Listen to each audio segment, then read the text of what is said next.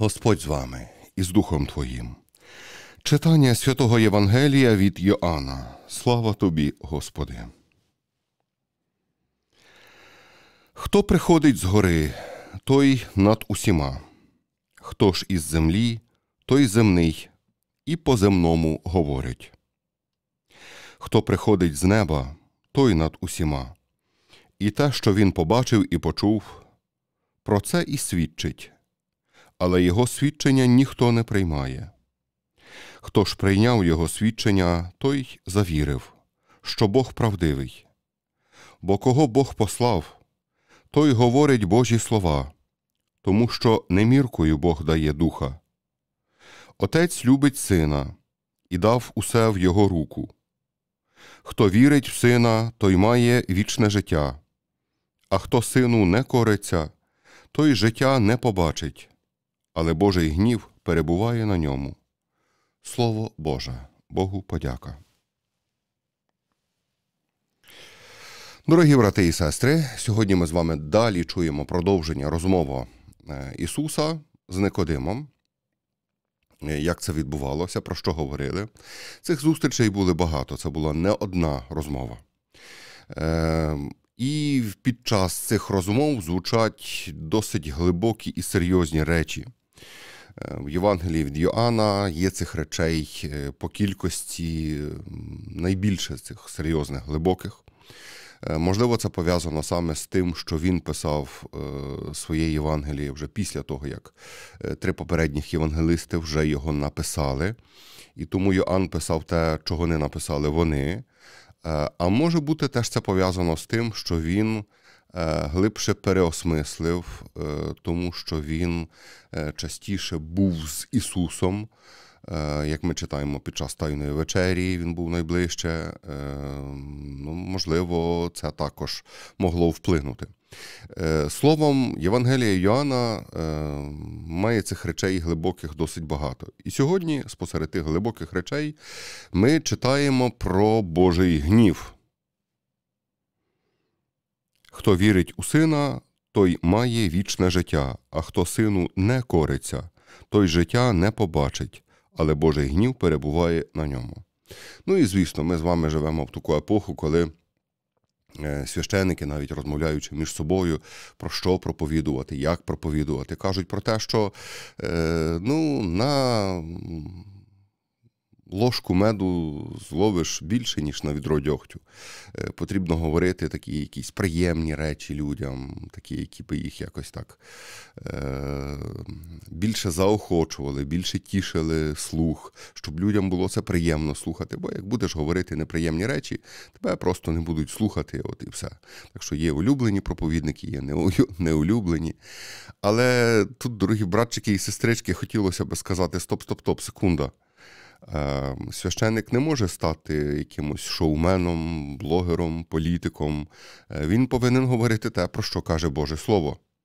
Навіть якщо ми розуміємо щось мало навіть якщо ми багато чого не розуміємо, навіть якщо ми чуємо якісь речі, які нам не є приємні, це не означає, що про ці неприємні речі не потрібно роздумувати. Бо інакше ми тоді з церкви перетворимося на яких, на якийсь клуб за інтересами людей, які одні одним подобаються, людей, які підтримують одні одних в їхніх шпоглядах. Але церква це спільнота людей, які слухають не людей, а Бога. А сьогодні мова про те, що Ісус каже, але Божий гнів перебуває на ньому. Той, хто не, не приймає сина, той, хто не слухає Його послання, той, хто не слухає Його повчання.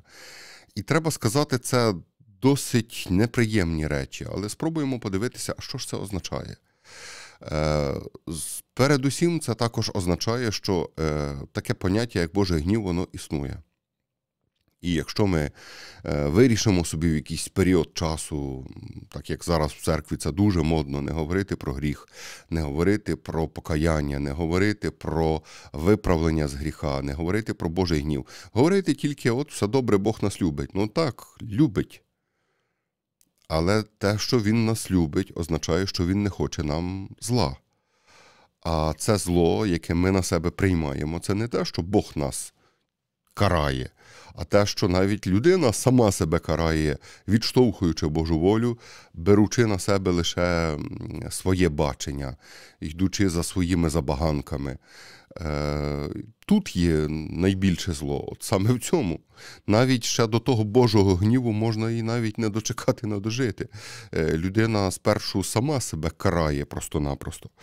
Е, зверніть, будь ласка, увагу, що в першому сьогоднішньому читанні є неймовірний діалог. Тут розмовляє в діяннях апостолів.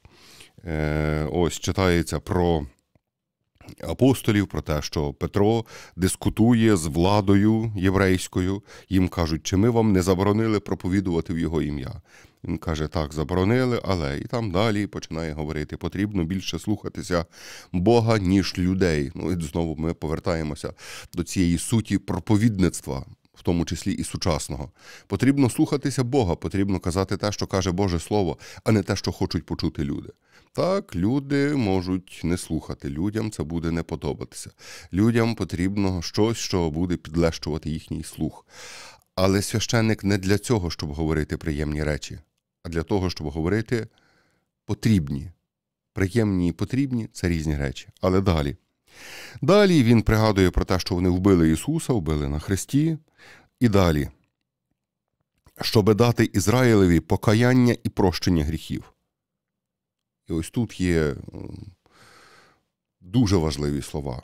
Для чого прийшов Ісус? Щоб виконати нашу волю, щоб нас благословляти, щоб зробити так, як нам підходить, так, як нам подобається, щоб благословити нам в нашій роботі, в нашій, не знаю, там, в бізнесі, е, щоб благословити нам, щоб в нас була хороша сім'я, щоб благословити нам, щоб ми себе гарно почували. Ні. Ще раз щоби дати Ізраїлеві покаяння і прощення гріхів. Покаяння спершу, а потім прощення гріхів. Якщо в людини немає покаяння, то і прощення гріхів не буде. Але і якщо людина не попрощається зі своїми гріхами, то Бог її благословити не зможе. І людина, просячи Бога про благодать доброї сім'ї, про благодать доброго ведення того самого бізнесу, про вирішення якихось внутрішніх зовнішніх проблем. Не зможе людина цього всього сприйняти, поки не попрощається з гріхом. Просто-напросто. Тому що основна суть це в тому, щоб покаятися і прийняти прощення. Всі інші речі, які здаються найважливішими, вони не є найважливішими. Більше того, ми, як люди, коли Е, хапаємося за якісь е, свої е, забаганки, коли хапаємося за якісь свої бачення, то часом можемо собі вчинити зле. Часом можемо обрати те, що не є добрим, що є поганим для нас. От я мрію, що от я зроблю те-то і те-то, мені буде добре. Гаразд, але чи це Божа воля? Чи це мене приведе до спасіння? І тут знову ж дуже цікаве відкриття для багатьох людей. Ну як це? Якщо я цього хочу, то хіба Бог цього може не хотіти? Так, може не хотіти. Це може бути виключно і тільки твоя воля, це може бути твоє бачення, це може бути твоя забаганка, а Божої волі в цьому може не бути зовсім. В чому річ? І для багатьох людей це є відкриття. Ага, то Бог це не тільки той, хто просто отак за викликом благослови те, благослови те, благослови те. Виявляється, Бог він про інше розповідає. Розповідає про покаяння, про виправлення з гріха. Але зверніть увагу, от говорячи про Божий гнів, чи говорячи про е, гріх, чи про покаяння, сьогодні це мега непопулярні теми. Навіщо про це говорити? Навіщо про це згадувати? Ну, люди і так знають про гріхи. Ну, Навіщо про це казати? Е, Боже Слово про це каже. І тому священник повинен про це казати. Далі проповідь цього Петра сьогодні, що потрібно більше слухатися Бога, ніж людей, є відлунням всіх людей доброї волі всіх людей, які пішли за Богом. Люди в якийсь момент сказали, що ось так буде по-людському, а ось так буде по-божому.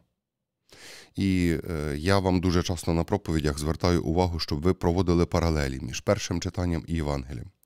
І сьогодні ця паралель настільки очевидна, настільки чітка, залізна, можна сказати, що ось чуємо, що потрібно слухатися більше Бога, аніж людей.